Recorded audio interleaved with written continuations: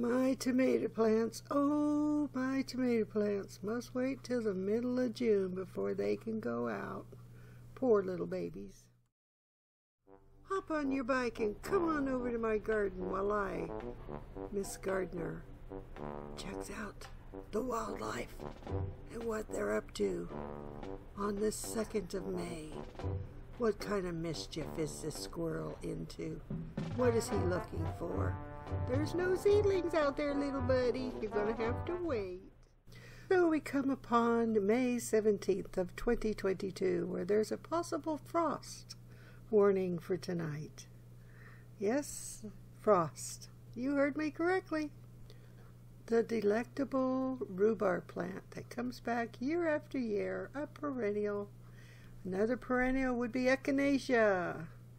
And my chives and my hostas and iris and Solomon seal garden, my peonies, my daylily, more Solomon seal that are just magnificent.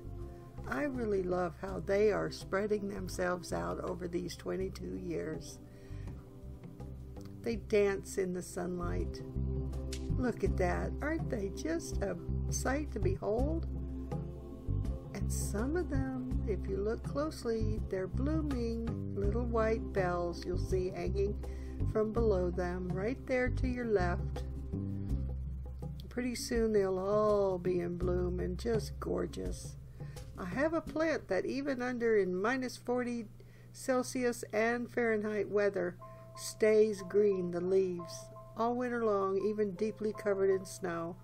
The flowers, of course, die off, but the leaves stay green. I have no idea what this plant is.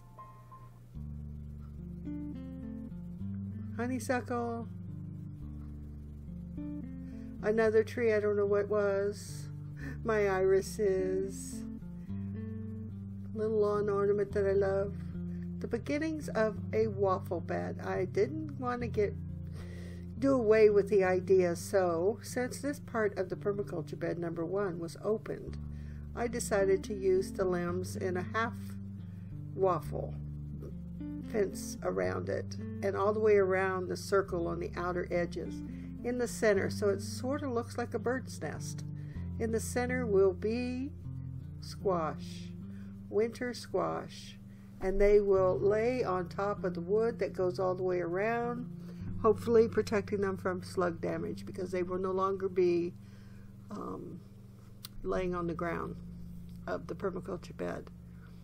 And what you saw was uh, my homemade bed from scrap lumber that I'm going to fence in somehow.